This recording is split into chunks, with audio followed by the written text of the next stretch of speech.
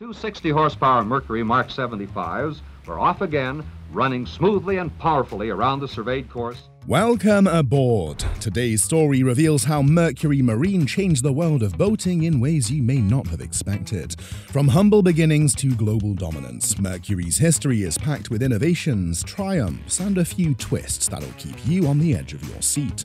The brand's legendary engines revolutionized on-water adventures for commercial fishermen, weekend cruisers, and adrenaline junkies alike. Let's dive right in. Carl Kiekhaefer's Mercury Marine engines were born from necessity and ingenuity. In 1939, he purchased a failing outboard motor company in Cedarburg, Wisconsin, intending to produce magnetic separators for dairies. Instead, he found a warehouse full of defective Thor outboards. Rather than discarding them, he meticulously reworked the engines, refining their design until they performed to his high standards. This relentless pursuit of improvement became the foundation of the Mercury brand. By 1940, these revamped engines were sold under the Mercury. Though small by today's standards, around 3.2 horsepower, they quickly gained a reputation for reliability and smooth performance, attracting fishermen and boating enthusiasts. Unlike the bulky, problematic motors of the time, Mercury's design was simple, dependable, and easy to maintain, qualities that resonated with Americans seeking practical solutions. Mercury's early success wasn't part of a grand corporate plan, but rather the result of Kiekhaefer's obsession with fixing what others deemed broken. In an era when outboard motors were often unreliable, Mercury's superior performance spoke for itself. That philosophy, engineering excellence driven by necessity, set the company on a path that would revolutionize the boating industry. Let's turn the clock back just a bit further. Before Mercury Marine became a powerhouse in the boating industry, the man behind it all, Carl Kiekhaefer, wasn't even dreaming of building outboard motors. He had aimed to manufacture magnetic separators for the dairy industry. However, that fateful warehouse purchase turned him into an outboard motor mogul almost overnight. Some folks say that if he hadn't been forced to confront a pile of unwanted engines, the entire course of boating history might have looked very different. Kiekhaefer was a perfectionist with a flair for showmanship.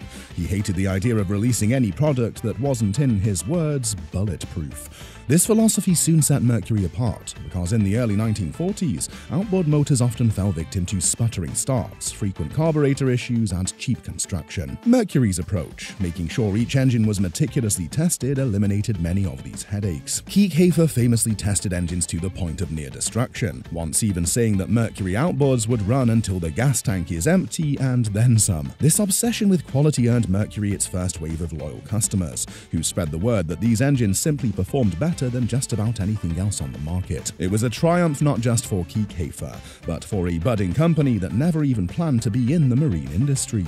That knack for stumbling onto opportunity and then perfecting it to an unmatched degree became Mercury's signature move, one that would catapult them from making a few outboards to transforming the world of boating as we know it. Some of the earliest Mercury success stories came from local boat races. Even if the engines were smaller, they were zippy and handled well, earning Mercury outboards a reputation for speed. Soon the Mercury name was attached to a feeling of freedom on the water. In the 1940s, amidst the backdrop of a country at war, these robust little engines symbolized something distinctly American innovation, resilience, and a good old fashioned get it done attitude.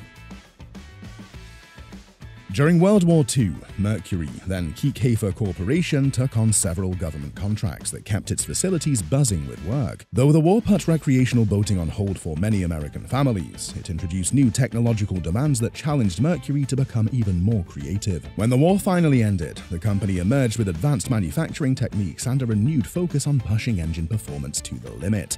Kiekhaefer saw racing as a stage to show off Mercury's strengths. He had an almost fanatical drive to see the black liveried engine engines prove their mettle in competitions around the country. By 1949, Mercury was sponsoring racing teams, chasing after speed records and collecting trophies. The racetrack became Mercury's R&D lab, where every tweak and improvement, whether in carburation or propeller design, could be tested under stressful conditions. If it survived racing, it would excel in the hands of everyday boaters. This turned Mercury into a household name, not just among the performance crowd, but also among casual boating enthusiasts who were thrilled to see trickle down technology from the racetrack. The company's racing roots weren't without controversy. Some critics argued that Mercury's emphasis on speed overshadowed practicality, leading to breakneck innovations that perhaps arrived to consumers too soon. But customers who adored racing wanted that edge, that adrenaline, and for better or worse, the brand's identity became intertwined with high performance engineering. Mercury was showing the world that outboard motors could be thrilling, efficient, and robust, all at once. Speed records fell, and the boating community took note. By the mid 1950s, Mercury was known for its lively outboards, bearing iconic names like the Mark series. The Mark 20, Mark 25, and especially the Mark 55 gained a reputation for reliability and speed. Boaters fell in love with their sleek styling, easy maintenance, and that deep throated roar that signaled Mercury power from a mile away. Fuel efficiency improved, materials became more durable, and engineering smarts gleaned from the racetrack seeped into every new model that came off the production line. By the late 1950s and early 1960s, Mercury was no longer the scrappy underdog. They'd quickly become a dominant force in the marine world, going toe to toe with established giants like Evinrude and Johnson. One key advantage was Mercury's willingness to pour money into research and development. Kiekhaefer was less concerned about short term profit margins and more about long term technological leadership. This forward thinking strategy paid off in spades when Mercury introduced more powerful engines that were not only faster but also more user friendly. Mercury Mercury's shift to the distinctive phantom black paint jobs gave their outboards a striking appearance that some folks loved and others hated. The dramatic dark aesthetic matched the brand's bold ambitions. And speaking of bold, Kiekhaefer himself was known for flamboyant marketing.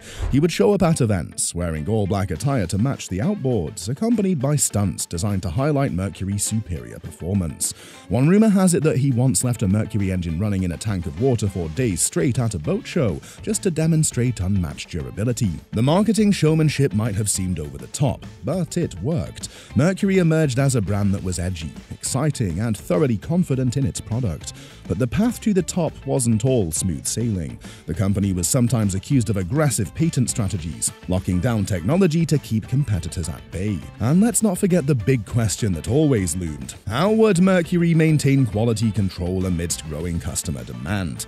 Skeptics wondered if the pursuit of performance would lead to corner cutting. However, Mercury managed to maintain its reputation by continually refining manufacturing processes and focusing on rigorous testing. By the end of the 1960s, Mercury was widely regarded as the outboard to beat, whether you were fishing in a quiet lake or shredding the waves in a powerboat race. One of Mercury's defining features was the relentless push for new designs. The 1960s and 70s saw bigger engines, improved gear cases, and the introduction of features that made the boating experience more comfortable. Electric start systems became more common, eliminating the dreaded pull cord fiasco that had been a source of jokes and frustration for many boaters. Mercury's engineers also played with new materials, seeking to reduce weight while boosting power output. Aluminium alloys and refined machining techniques became standard, ushering in a generation of of engines that provided better power to weight ratios. Then there was the famous Tower of Power, the inline six cylinder outboards that Mercury rolled out. These tall, sleek, intimidating motors quickly earned a cult following. They represented not just extra horsepower, but also a significant leap in engineering complexity. Mercury took the risk of stacking multiple cylinders in a narrow configuration to keep the engine housing slim, which gave it that towering profile. Drivers loved the torque and the satisfying roar. Neighborhood mariners might have loved it less, as quiet lakeside sunsets became overshadowed by the distinctive Mercury growl. While these innovations thrilled boaters, not everyone was on board. Some felt Mercury's rapid pace made older engines obsolete too quickly. Others questioned whether the move toward bigger, louder engines was overshadowing a need for fuel economy and environmental considerations. Eventually, environmental regulations began catching up in the late 70s and 80s, forcing all manufacturers, including Mercury, to reconsider how to produce produce power without excessive emissions. But for boaters who longed for excitement, Mercury's design leaps made them the talk of the town, solidifying the brand as the cool kid of outboards.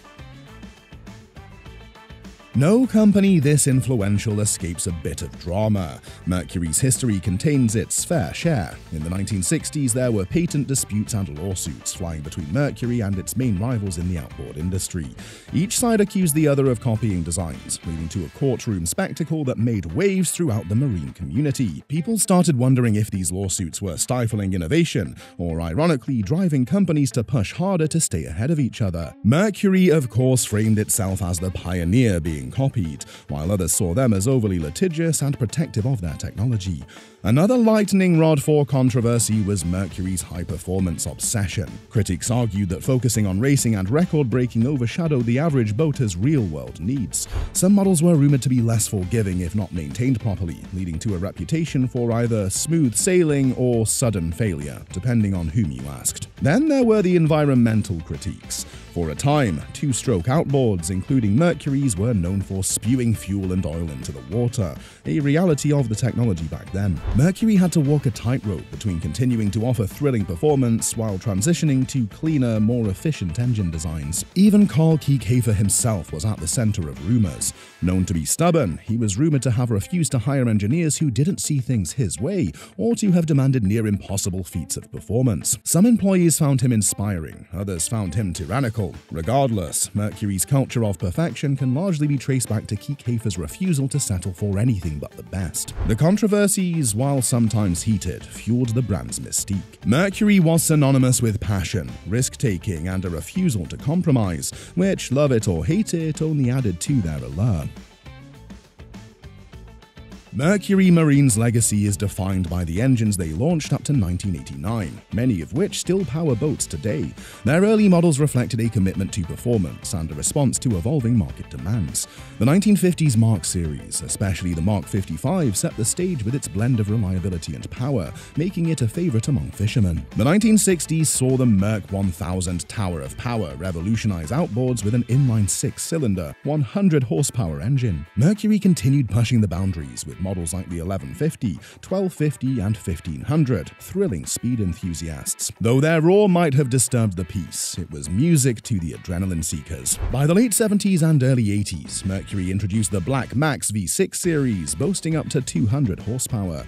These engines delivered exhilarating speeds but were fuel hungry, a growing concern during energy crises. Still, performance reigned supreme. As the mid 1980s approached, emissions regulations forced Mercury to innovate. The XR XR2 and XR4 attempted to balance power with efficiency, foreshadowing the eventual shift to four-stroke technology. Despite these challenges, Mercury's reputation for speed and reliability kept sales strong. By 1989, the company stood at a crossroads, balancing its racing DNA with the need for cleaner, more efficient engines.